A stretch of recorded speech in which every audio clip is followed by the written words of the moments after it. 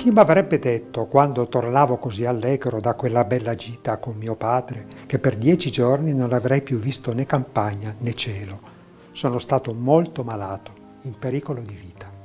Come sono diventati verdi gli alberi in questi pochi giorni e che invidia mi fanno i ragazzi che vedo correre alla scuola con i loro libri quando mio padre mi porta alla finestra.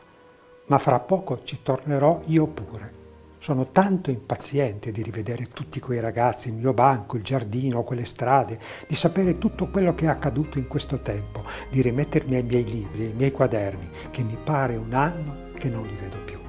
Potrebbe essere un pensiero scritto in questi mesi da un bambino o una bambina costretti a casa dai postumi della pandemia e invece è un estratto da cuore dal capitolo intitolato Convalescenza e datato 20 aprile 1882. Quasi 140 anni separano l'attualità di oggi dall'episodio del romanzo di De Amicis, ma è una distanza che nelle sale del Museo della Scuola e del Libro per l'Infanzia non si percepisce, in un continuo gioco di rimandi tra passato e presente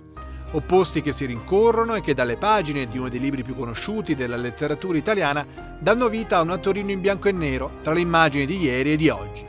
E l'omaggio che il Consiglio regionale del Piemonte vuole fare a Vita Nova, l'iniziativa online voluta dal Salone del Libro di Torino in attesa del prossimo maggio, quando si spera la kermesse letteraria tornerà nella forma che tutti conosciamo. Un'edizione costruita sulle coppie di concetti in apparenza contrapposti, da Oriente Occidente ad Antico Moderno, approfonditi da scienziati, filosofi, scrittori e comunicatori. Proprio nei giorni di Vitanova, da venerdì 4 a martedì 8 dicembre, sui canali social del Consiglio regionale, quattro fotoracconti faranno rivivere la Torino di De Amicis, descrivendo ieri e oggi gli angoli più significativi delle pagine di cuore.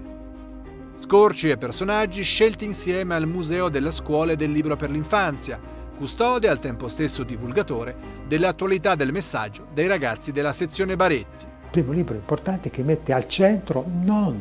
un eroe, ma un gruppo di bambini e quindi mette, mette, come protagonisti di tutta la storia, non è Enrico il protagonista di cuore, è un gruppo di bambini che sono uno diverso dall'altro dal punto di vista eh, sociale, dal punto di vista culturale, dal punto di vista anche delle caratteristiche fisiche e psicofisiche. E quello che emerge in cuore sono soprattutto le relazioni tra i bambini.